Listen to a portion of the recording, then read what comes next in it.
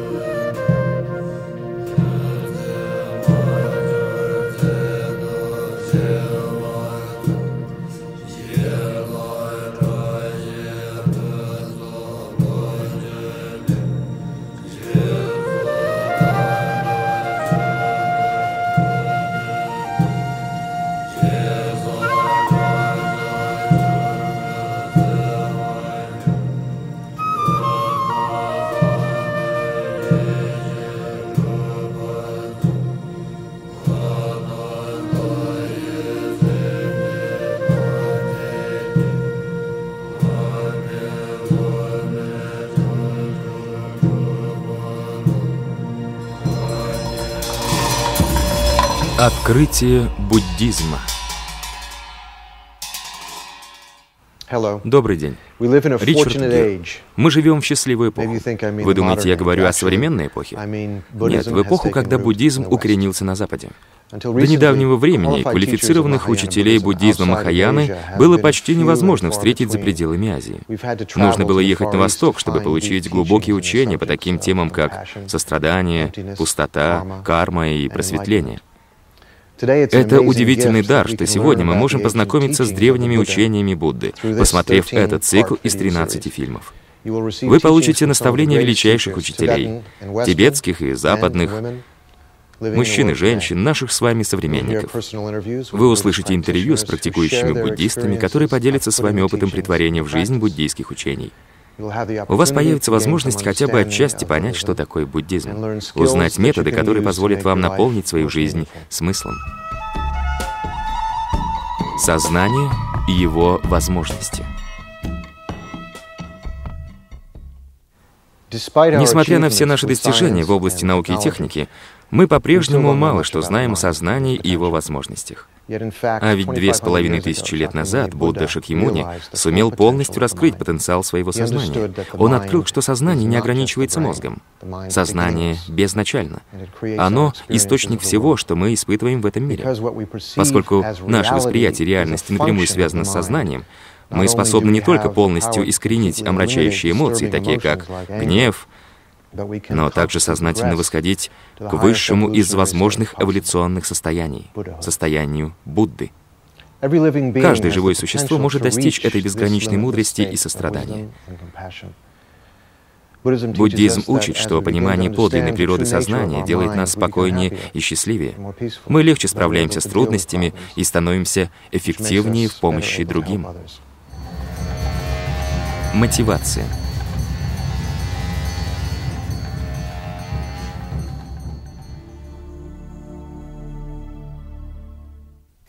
буддийская монахиня Кони Миллер.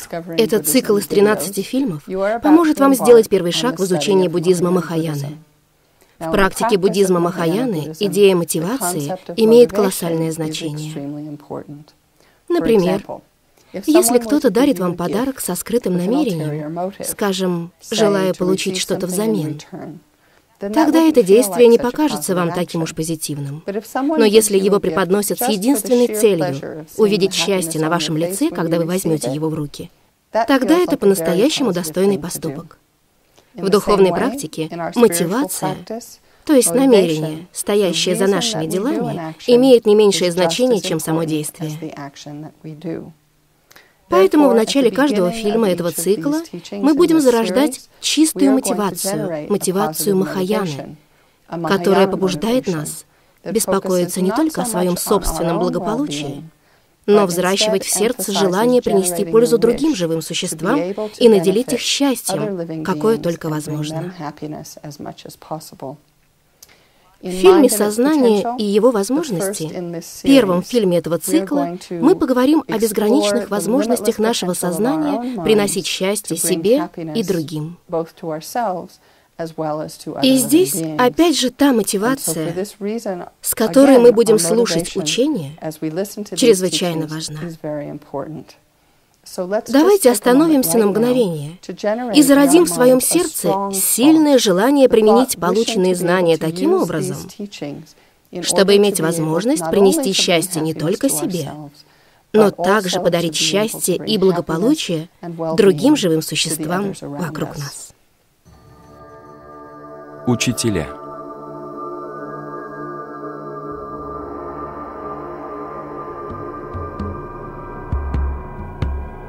Буддийская монахиня Рабина Куртин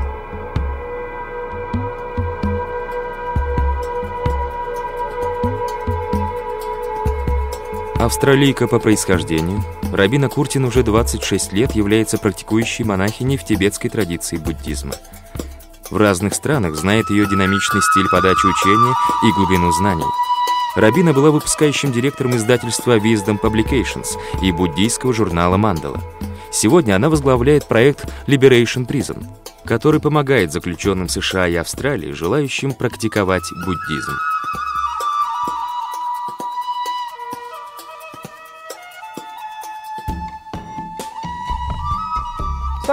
Ум.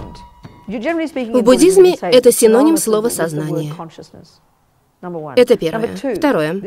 Характеристики ума. Согласно буддизму, в нем нет ни единого атома физической природы. Он нематериален. Это интересно. С точки зрения христианства, есть некая часть нас, которая именуется душой. Она тоже нематериальная. Есть также воззрение материалистов, которые говорят, ум — это мозг. Мозг, ДНК, гены, ничего больше.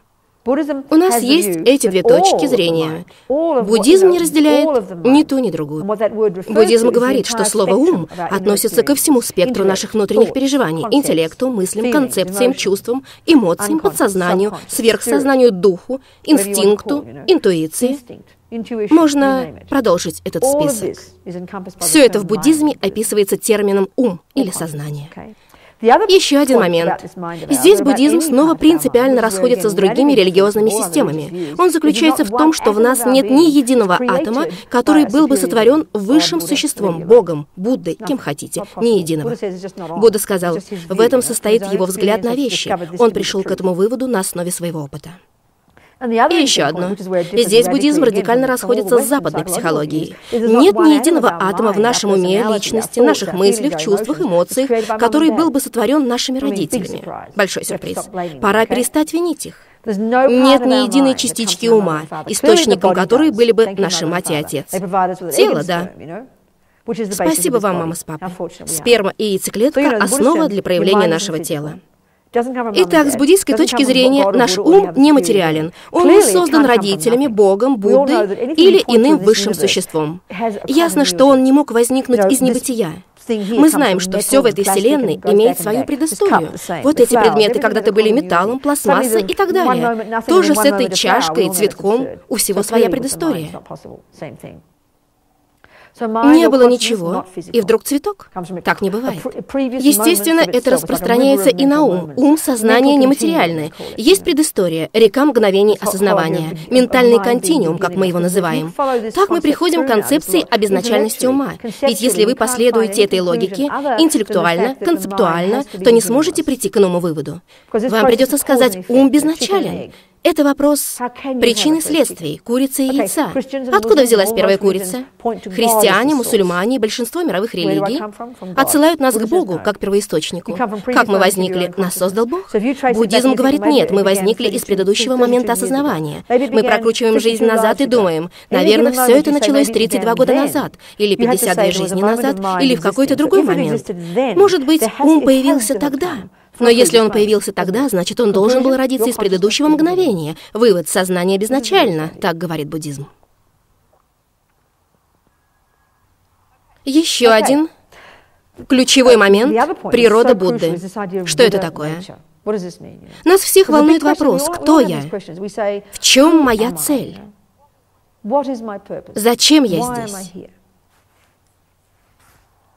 Будда отвечает, чтобы стать Буддой. Что значит стать Буддой? Будда — санскритское слово. Оно означает полностью пробужденный, полностью развитое сознание, ум, ступень, по достижению которой дальше некуда развиваться.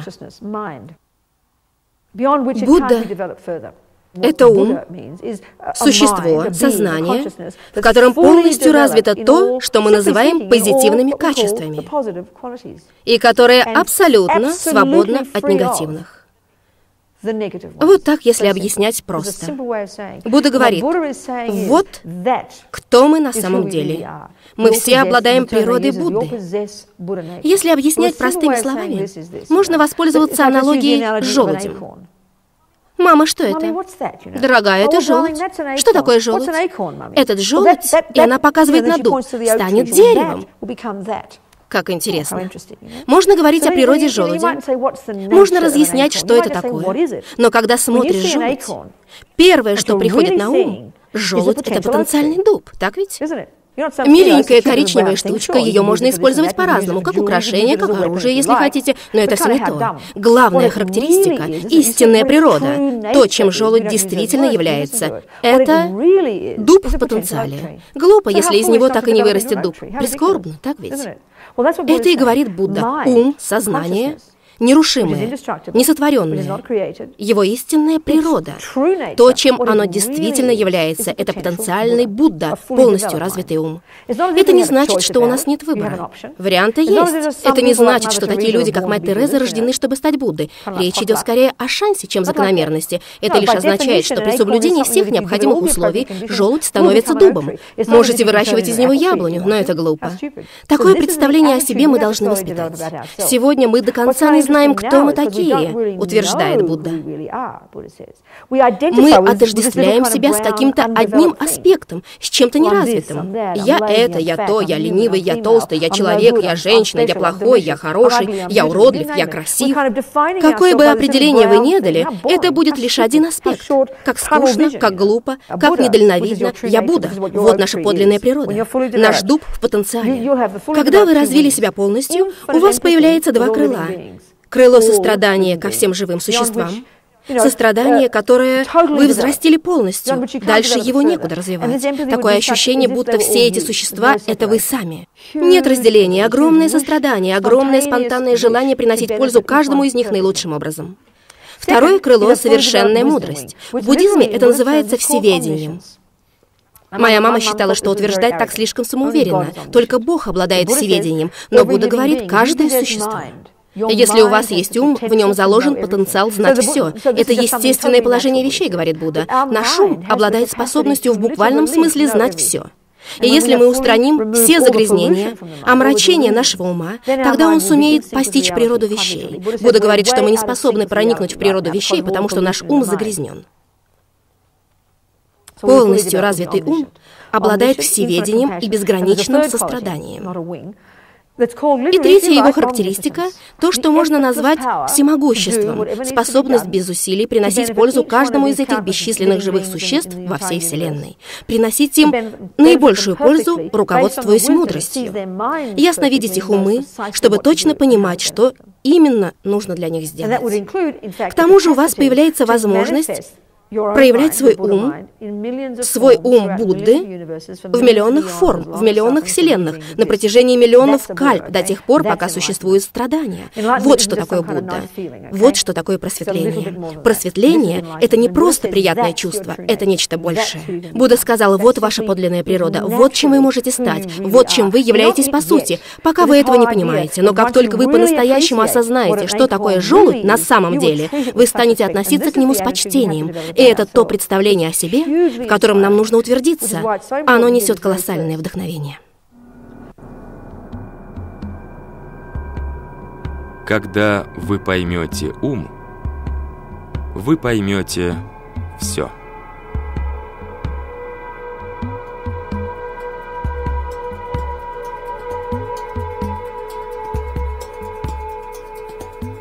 Буддийский наставник Нагарджуна –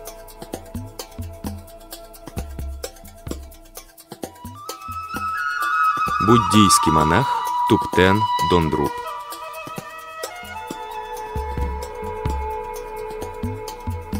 Туптен Дондруп – полностью посвященный монах из Австралии, практикующий тибетский буддизм в течение 26 лет.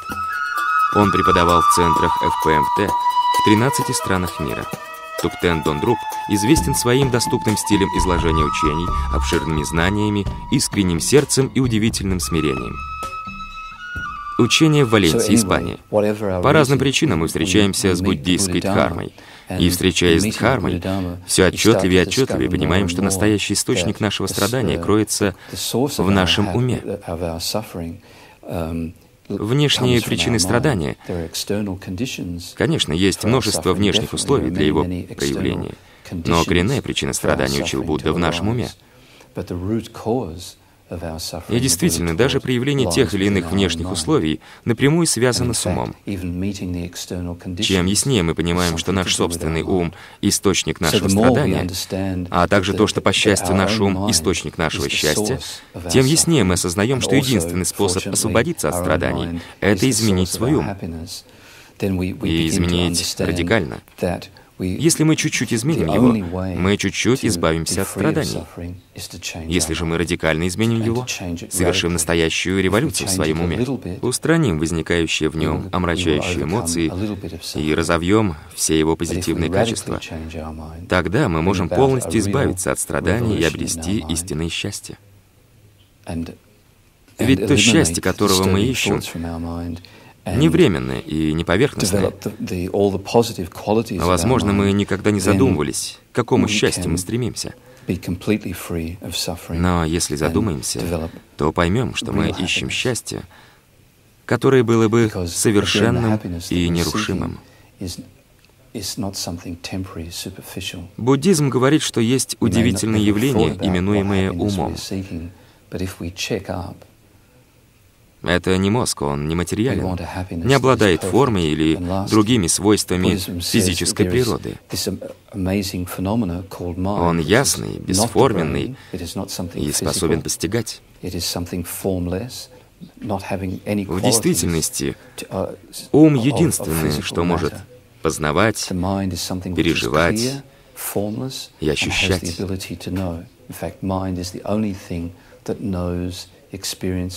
And feels. Работа ума познавать самыми разными способами. Мы можем проанализировать это слово «познавать» и обнаружим, что есть множество способов познания. В настоящее время наше познание опосредованное и поверхностное. В основном через концепции, через чтение, через то, что мы слышим от других. Сейчас возможности нашего познания весьма ограничены.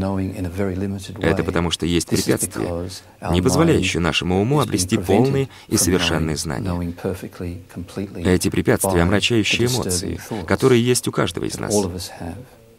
Только представьте, каким бы был наш ум без этих тревожащих мыслей — если бы ни одна никогда не тревожила нас, если бы ничто не обращало нашу врожденную способность познавать, переживать, ощущать. Мне кажется, это было бы удивительное переживание. Поистине удивительное.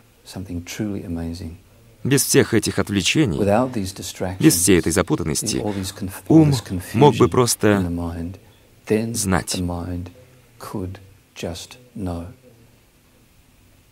Но возможно ли избавиться от тревожащих мыслей?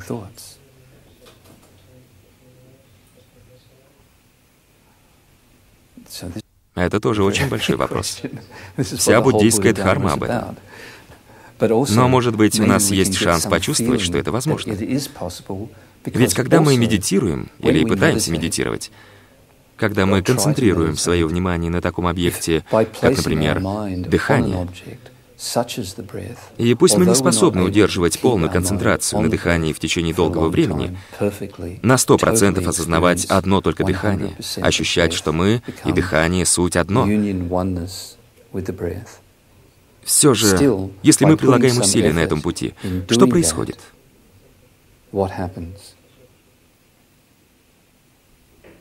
Мы все ощущаем, когда пробуем сосредотачиваться, что наши омрачающие мысли, волнение ума действительно уменьшается. Да? Надеюсь, мы все чувствовали это хотя бы один раз. Пусть ненадолго тревожащие мысли,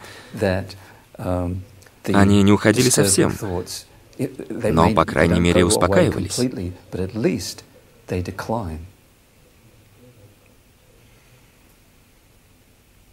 Это показывает, на самом деле, это доказательство тому, что у тревожащих мыслей, самих по себе, нет силы держать наш ум под контролем. И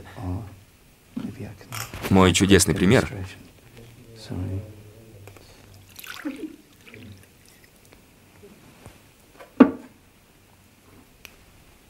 Обычно директора центров его не любят за его разрушительный характер. Обычно наш ум вот такой.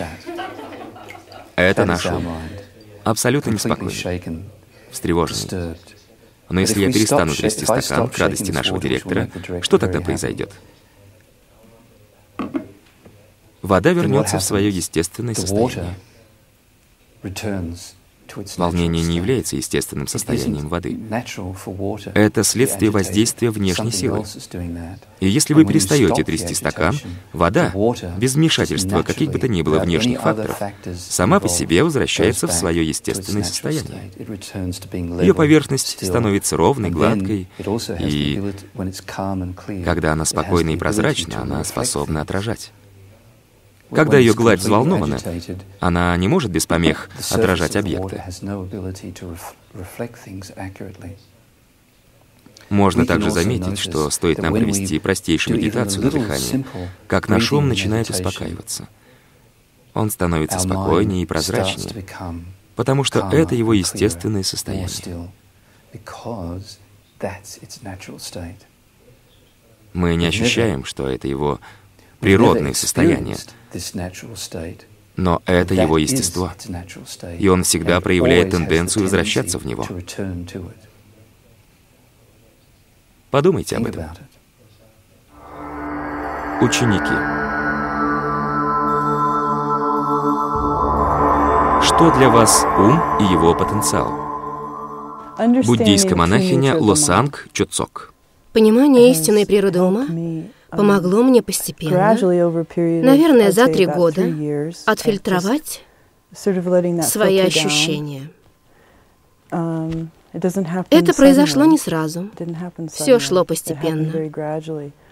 Но однажды я проснулась и подумала, uh, ух ты, я стала другим человеком, появилась больше уверенности в своих силах, uh, потому что я вдруг начала понимать, um, что я не какое-то ограниченное, беспомощное, безнадежное существо, живущее под влиянием всех этих многочисленных внешних и внутренних факторов, которые доставляют столько страдания. Люди часто подходят ко мне и спрашивают, почему я стала монахиней, о буддизме. У многих из них есть ощущение, будто буддизм — это темное, мрачное, пессимистичное, нигилистическая религия, которая говорит только о страдании и смерти. Да, мы много говорим о страдании и смерти, но мы упоминаем их um, когда описываем ту ситуацию, в которой все мы находимся. Мы страдаем, и нам придется умереть. Um, Но из этой ситуации есть выход. Все как-то забывают об этой части. И выход в том, что у нашего сознания колоссальные возможности, совершенно немыслимые. Мы можем стать удивительными существами, Буддами, теми, кого мы называем Буддами. Можете назвать по-другому. У нас есть потенциал стать таким существом, которое нам даже невозможно вообразить. Всемогущим, всеведущим, благостным, способным помочь всем. Мне всегда хотелось помогать людям. С самого детства я понимала, что люди страдают. Мои родители страдают. Мои бабушка и дедушка страдают. Все страдают. Я видела их страдания, видела свое страдание. Когда я выросла, мое собственное страдание так захватило меня, что мне казалось, я не в силах помочь другим. Я себе-то помочь не в силах. Но постепенно, благодаря пониманию и отчасти переживанию и ощущению этой заложенной во мне невероятной природы, и я стала больше помогать другим и меньше думать о своих собственных страданиях.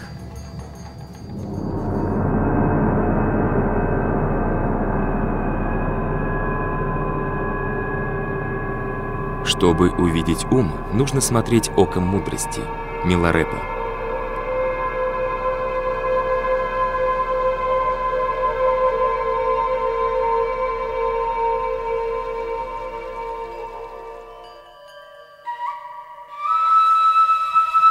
Пусть та позитивная энергия, которую вы накопили слушая учение, поможет вам быстро достичь просветления ради блага всех существ.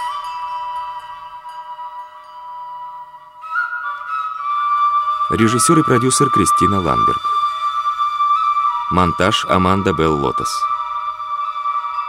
Операторы Кристина Ландберг, Матео Пасигато. Помощник по монтажу Лиза Леви. Графика Адам Фокс. Музыка Наван Кичок, Крис Хинс, Уилл Йодер и Жирида Вуань. Фильм озвучен по заказу фонда «Сохраним Тибет».